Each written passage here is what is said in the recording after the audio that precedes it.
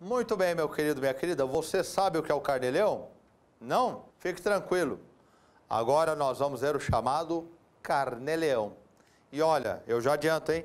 Caiu na prova de analista de 2012 da Receita Federal do Brasil. Carnê-leão.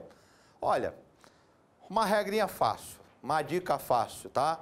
Carnê-leão, em regra, é quando pessoa física recebe de pessoa física. É a regra geral. Tá certo? Temos exceções, tais, mas a regra geral é que você vai guardar essa. Novamente, dica, carnê-leão, pessoa física que recebe pessoa física. Ah, é sempre assim? Não. Isso é uma dica, tá ok?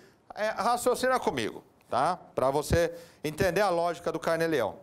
Se eu sou pessoa física e estou prestando serviço para uma pessoa jurídica, não é? O que, que o legislador pensa? O legislador é sábio, ele fala, não, se eu deixar para o Marco, que é a pessoa física, recolher o imposto de renda, a chance dele me dar o tombo é enorme, né? Tá certo? Porque a pessoa física, principalmente no Brasil, né, que veio com uma cultura é, colonial, depois imperial, não é? E na República, baseado na informalidade, não é? As pessoas estão acostumadas a não recolher nada. Você contrata alguém para limpar a sua calçada, limpar o quintal, dá o dinheiro, você nem repara se ele está recolhendo imposto de renda, se ele está recolhendo contribuição social, né? Mas tem legislação para tudo isso, fique esperto, viu? Tá certo?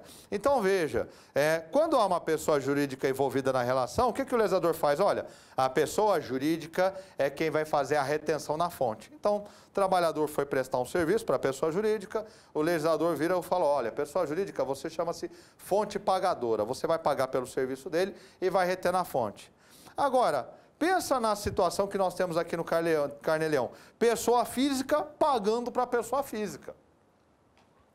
São suas situações frágeis para o fisco. Quer dizer, é difícil ele fiscalizar a pessoa física que está pagando e é difícil ele fiscalizar a pessoa física que está recebendo.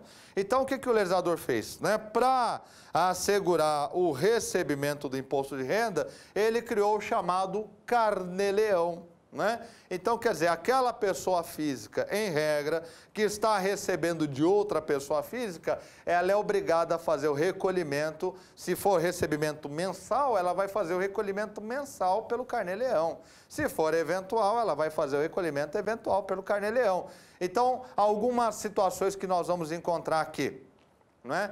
aquele senhor que tem oito casinhas alugadas. Né? Ele tem oito casinhas, ele mesmo aluga, não tem imobiliária. Se tivesse imobiliária, já teria retenção na fonte da imobiliária, tá certo? Mas não tem imobiliária, é ele mesmo, ele que trata, ele que arruma as casas, manda pintar quando sai inquilino, coloca outro. Então, ah, eu tenho um tio assim português, não é? Tá certo? Que tem um monte de casinhas, é, professor e que ele aluga diretamente, muito bem. Então ele é obrigado a recolher mensalmente imposto de renda pelo carnê-leão. Isso mesmo, né? Tá certo?